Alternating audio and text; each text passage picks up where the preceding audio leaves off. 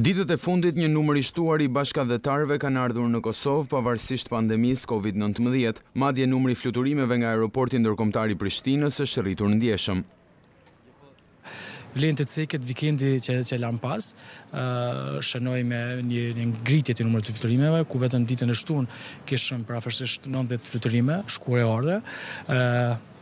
një numër pak ma të vogël vazhdoi e diela, ndërsa numri i fluturimeve pritet të rritet në në ditët në vijim deri në fund të të këtij muaji.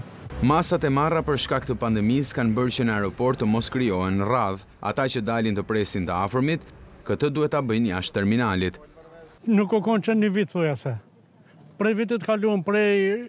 shkurtit vitit të kalum nuk kanë kon, në verë nuk erdhen shkaku i po dhjetë i pandemis, tash erdhen për një abare veç pak sa me në pa neve për në vetë. Jo, bre, s'ka verë u gusivë që është, së është problemi ma keq, a i në fakt do të më rua mo, edhe që është panikë e madhe jo.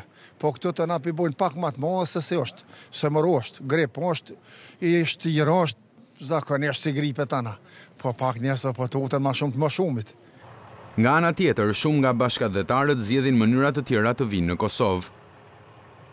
Zakonisht një numër i madh i bashkatdhetarëve vijnë në Kosovë gjatë festave të fundvitit, por jo vetëm nëpërmjet portit ajror të vendit, një numër i madh i tyre vijnë edhe nëpërmjet pikave të tjera kufitare tokësore. Radhë të gjata veturash, autobuzësh janë raportuar në kufij të vendeve si Slloveni, Kroaci, Hungari e Serbi të shtetasve të Kosovës, Turqisë, Bullgarisë, Rumanisë e vende të tjera të Ballkanit. Dhjetëra autobusë kanë mbërritur gjatë natës së kaluar në Kosovë. Ne jemi shumë të lumtur. Po me ardh në shtet në vend tonë ia vlen për çdo me çdo çmim. Po mbo po ç'kem pas do ndalesa do sene qështu s'kena mujt me ardh.